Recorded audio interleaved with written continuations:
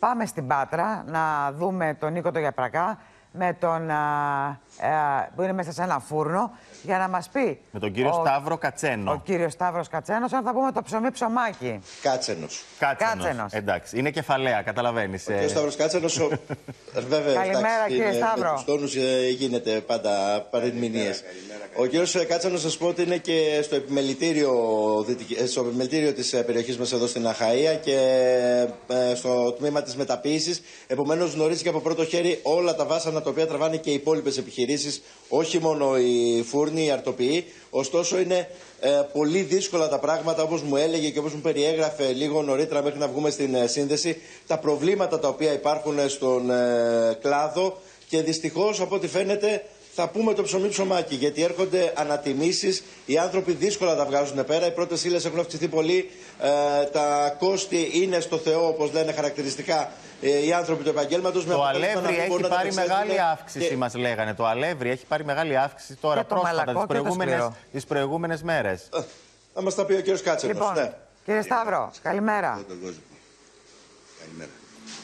Μέχρι ώρας μας έλεγαν ότι προσπαθείτε να συγκρατήσετε τις τιμές. Βλέπετε ότι μπορείτε να το κάνετε από εδώ και πέρα. Όχι, όχι. Από εδώ και πέρα δεν μπορεί να γίνει τίποτα άλλο. Ε, η κατάσταση είναι τραγική. Εδώ και δύο χρόνια με τον πόλεμο, είχαμε τον κορονοϊό, εντάξει, ε, αλλά εδώ και ένα μισή χρόνο τώρα με τον, από τον πόλεμο της ε, Ουκρανίας και μετά η κατάσταση είναι ανεξέλεκτη.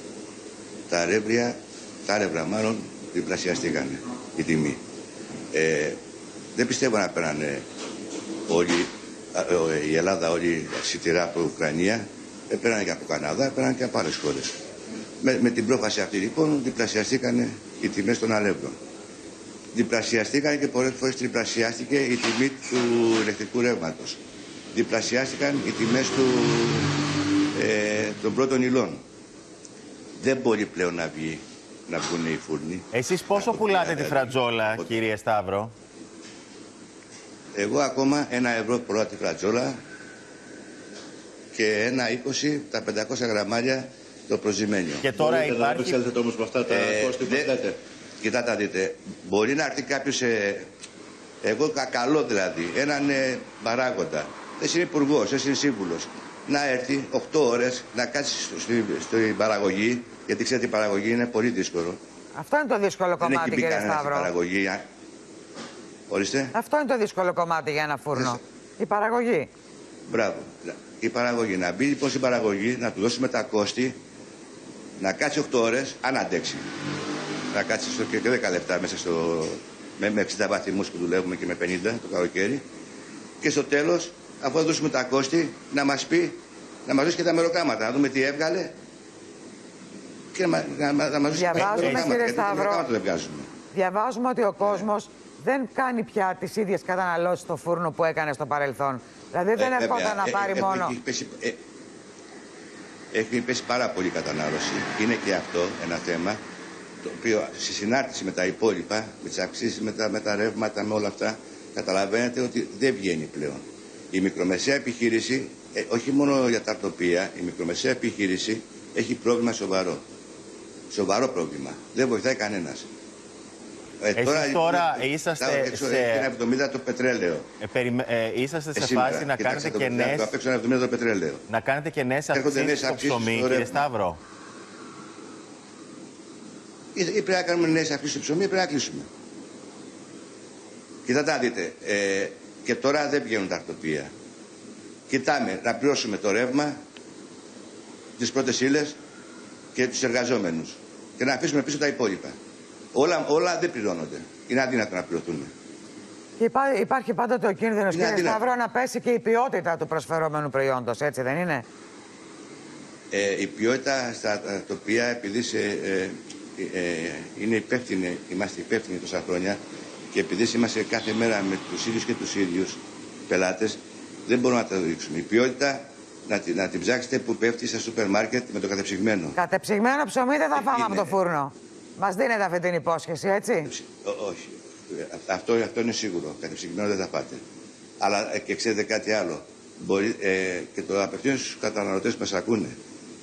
Πάρτε ένα ψωμί κατεψυγμένο και ένα ψωμί από το αρτοπείο της γειτονιάς σας. Πηγαίνετε στο χημείο, Κάτε, κάτε αυτό το, αυ- αυτή τη, τη θυσία, ας πούμε, και να πάρετε τα αποτελέσματα. Να δείτε τι ψωμί είναι το ένα και τι ψωμί είναι το άλλο.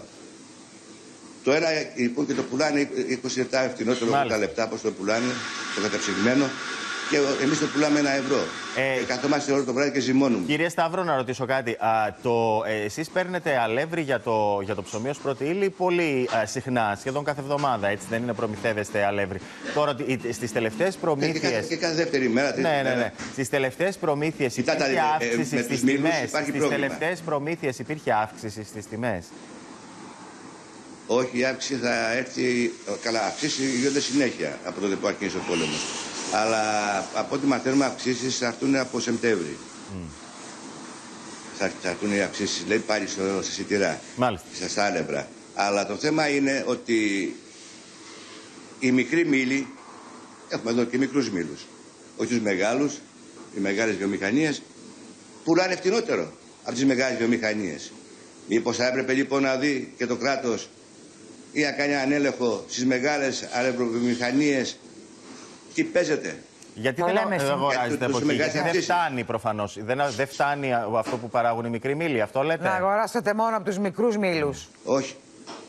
Όχι, όχι. Λέω οι μικροί μήλοι πουλάνε φτηνότερο Ναι, ναι. από ότι πουλάνε οι μεγάλες βιομηχανίες. Ωραία, ωραία. Που είναι και μικροί μήλοι, οικογενειακοί μήλοι. Μήπως λοιπόν θα πρέπει να γίνει και μικρά Κύριε έλεγχο εκεί Σταύρο, πέρα. Τι γίνεται; πρέπει να γίνουν Για να έλεγχοι δούμε. για σχροκέρδια Γιατί; παντού. Δεν είστε ο μόνος που μας το Ωραία. λέτε, μας Έτσι, το λένε. στο Κέρτια. Ωραία, Μας ωραία. το λένε πολλοί ε, που έχουν μικρές επιχειρήσει, ιδιοκτήτες μικρών επιχειρήσεων. Ευχόμαστε τα πράγματα να πάνε καλύτερα. Λοιπόν, σας ευχαριστούμε, Σας ευχαριστούμε πολύ. Να είστε καλά, καλή Μακάρι να πάνε, συνέχεια. αλλά δεν θα πάνε.